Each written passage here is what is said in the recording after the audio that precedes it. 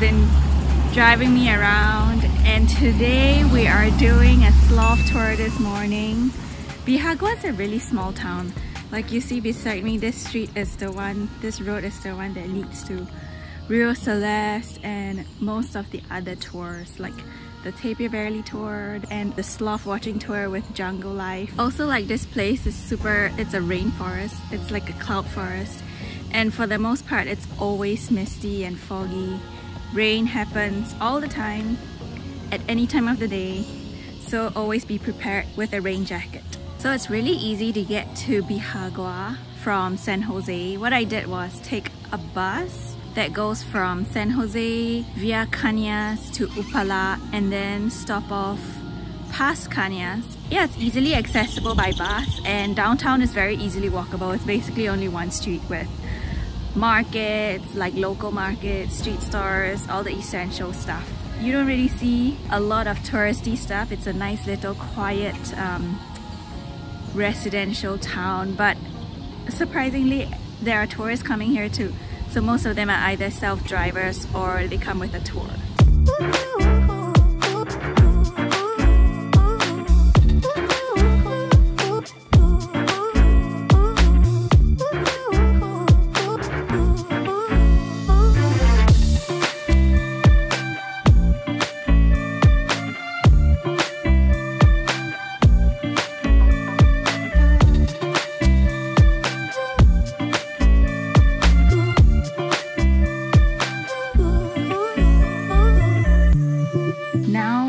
Headed to the hanging bridge.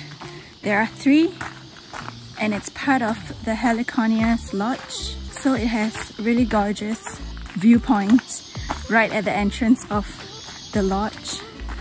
And now I am embarking on a 2.5 kilometer walk round loop to see the hanging bridges. Hopefully spot some animals on my own. He told me about a, an owl. And let's go.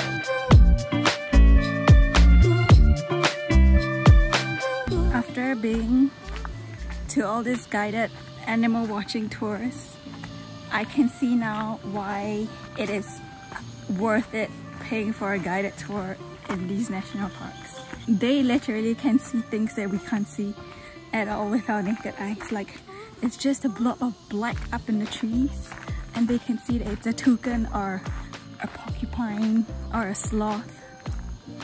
And so yeah totally highly recommend doing a guided tour if you're in one of the national parks. Know you'll get to see so much more animals and it really enriches your whole walk in the forest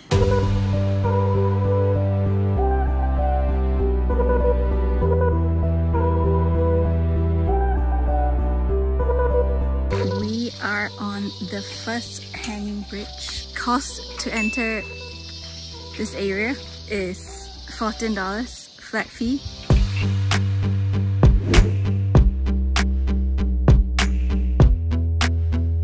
Okay, so this is the Heliconia Lodge that I told you about where it leads to the hanging bridge and they have all these little bungalows like you see behind me with little terrace out here and it leads right out to the viewpoint.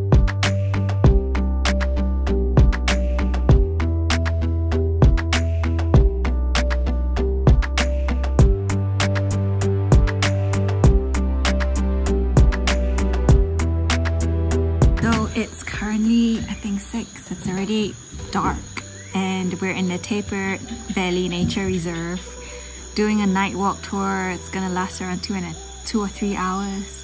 Super exciting. It's a protected natural reserve around 240 acres and it's owned by three families. They only do private tours here, either bird watching or the regular day tours or this night tour. So we got one of the owners who's also super passionate about nature and wildlife here to guide us today. He's super knowledgeable. Johnny behind me, he's preparing some fruits for guests of this night walk tour.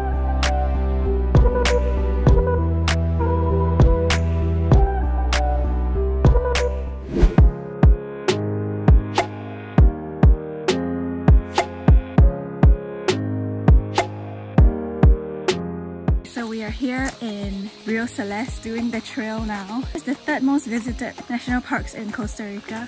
The first being Irazu and the second being Manuel Antonio. And it's so lush, so green, it feels like the green here is extra green. The entrance to this Rio Celeste is $15 for adults. It opens from 9 to 2. It's a nice drive up to Rio Celeste. It's really quite thick in the woods. And now we're on our way. It's a little drizzly, but we're on our way to see the blue colors.